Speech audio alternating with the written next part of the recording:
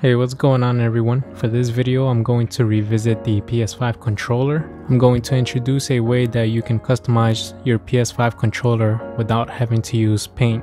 Let me show you first what I got here from extremeRate. They sell a bunch of controller customization stuff like shells and buttons. In this package, I got a touchpad for the PS5 controller with some thumbstick rings they also provide some tools and screws for you to use in case you need it or the buttons to replace the original PS5 controller with. And the last thing is a purple decorative strip. The next package is by EG Game DIY. It's an all black PS5 controller housing shell. Next thing I'm gonna do is take this PS5 controller and replace everything. The whole shell and all the buttons except the thumbsticks. I got everything ready now and one thing I forgot to mention earlier was that the black shell the black replacement shell came with this little screwdriver that they provided as well. But I'm gonna use the one I always use which is this one. I feel like it's much better. The tools they provide they're not that bad but you could use better ones. First thing you're gonna do is grab your prying tool and take out the decorative strip that you have right now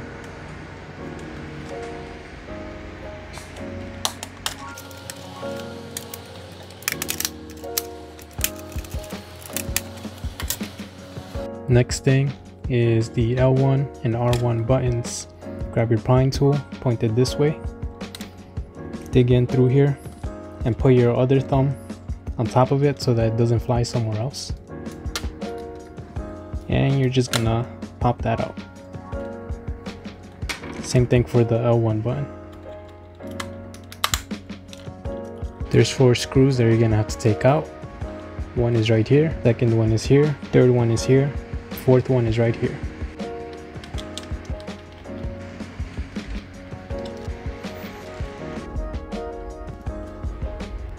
After you removed all the screws, just look over here, you're gonna find two locks. Use your prying tool and just kind of dig in there to push it forward. Same thing with the other side right here. Then just turn your controller on either side. Your tool, you're gonna dig right in and just slide it. That side is gonna open up. And then same thing for the other side. From there you can just pretty much just like push up until it comes out. You don't have to push out too much. And this is the back shell.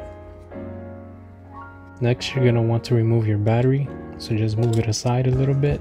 Then if you're gonna use your fingers just make sure you have good grip then you can slowly just wiggle it out. And that's only because I'm used to doing these kinds of stuff. So if you're a beginner maybe use tweezers and slowly just wiggle. Try not to use too much strength when you do it. Now this little piece it can come out of there so just make sure it comes off like this. That's because we need to take the screw out and it's gonna take off this whole piece right here Once you got the screw out, you can take out the battery holder. After that, you need to disconnect four ribbon cables, one being here, the other one here, the other one here, the last one is right here.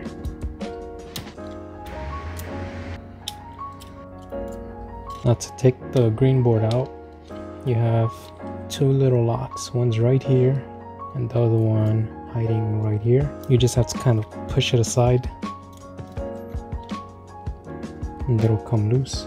Once you got one side, just do the other one. Carefully move your ribbon cable. Watch out for the rumble cables too. There you go. That's connected, so don't pull it. You have four more screws to take out. One's right here, right here, here, and here.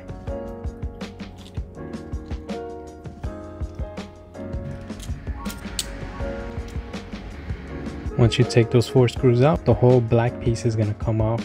Just be careful with this. Make sure it doesn't get caught. And there you go. That's your whole front piece. Now you're just gonna remove your touchpad. Take off all the pads.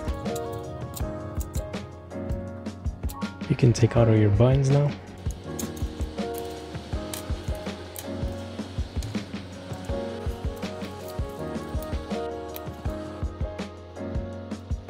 For this one, you can just face it on the front. This comes out.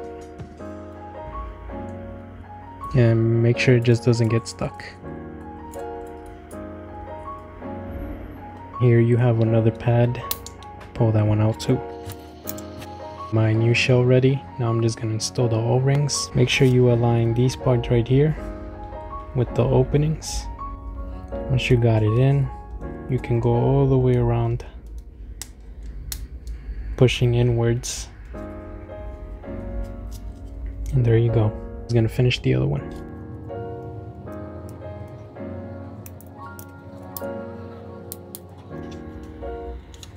Now you're gonna put in your old gummy from the original control. Put it into the new one. Next we're gonna put this little piece in. First put the cable in through here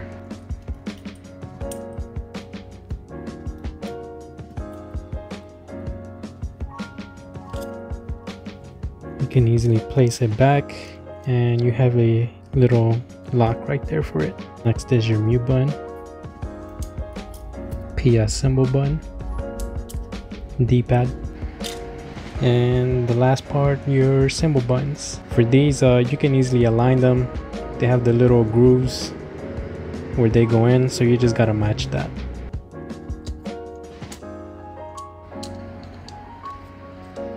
I also forgot your little options buttons now you can put all your pads back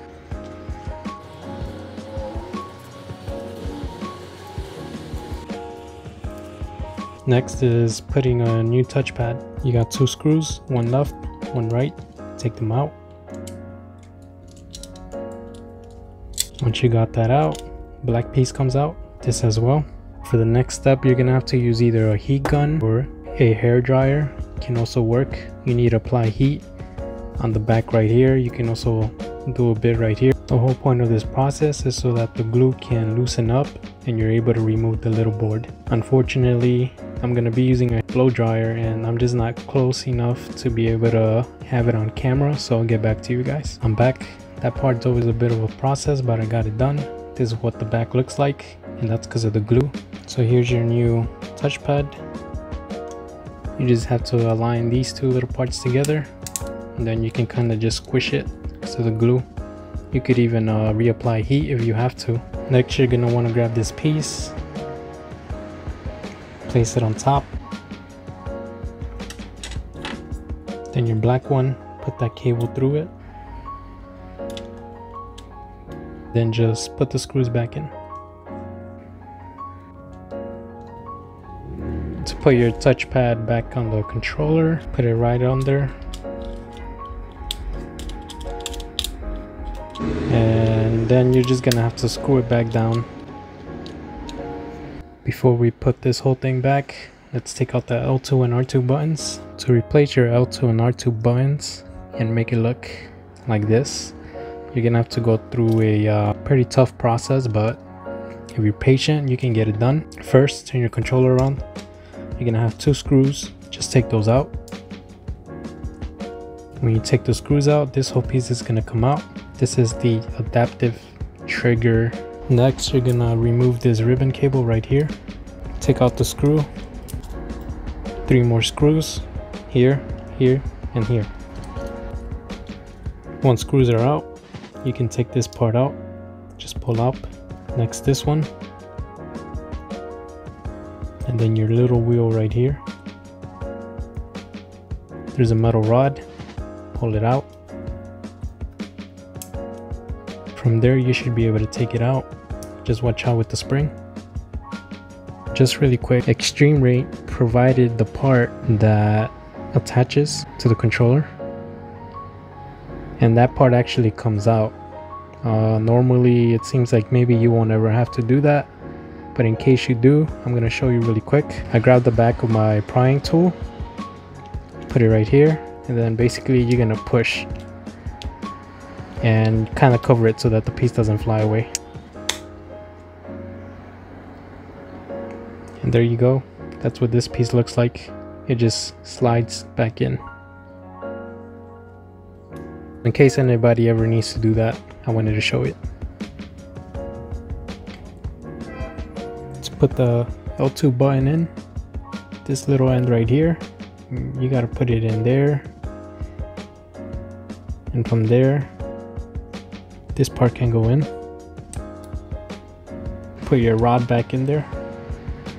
In the hole, you have to line it with the button. Then you get pushed on, test it out. From there, you're gonna put your little wheel back.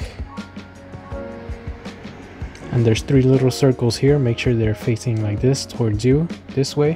When you put this piece back it's gonna be at the end right here.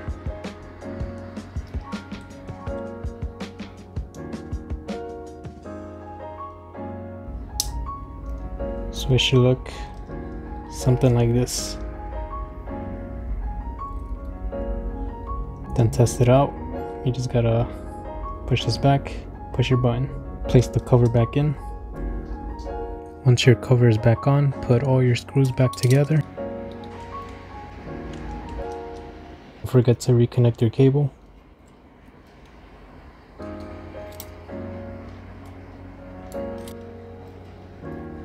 Put your trigger back in its slot. Put its two screws back in. Now we can put this whole piece back in here. Watch out for the touchpad cable. Gonna put the four screws back together now. Once you put your screws back together, make sure you have all your ribbon cables sticking out. One, two, three, and four. And from there, just reconnect them. Reconnect your battery holder. Put back the screw. Make sure to put this little piece back in place. These cables can end up being a hassle. I finally got this back in. Now you can reconnect your battery.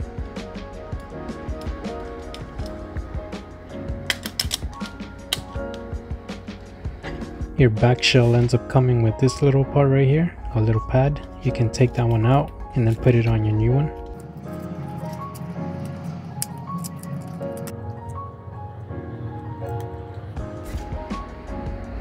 Time to put in the back shell.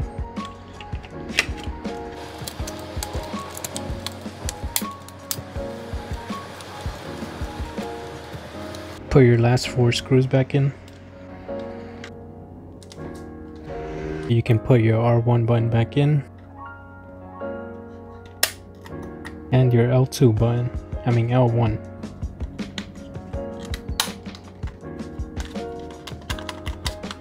The last thing left to do is put your new decorative strip in.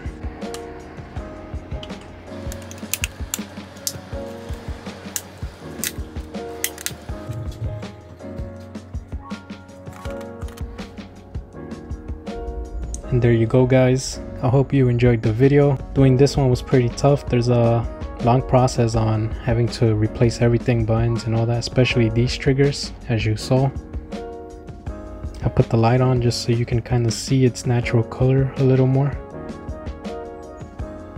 hopefully i did a good job on showing everything it'd be great if you can just give it a thumbs up because this video was definitely exhausting but the way the controller turned out is actually freaking awesome it has a nice matte finish, purple matte finish to it.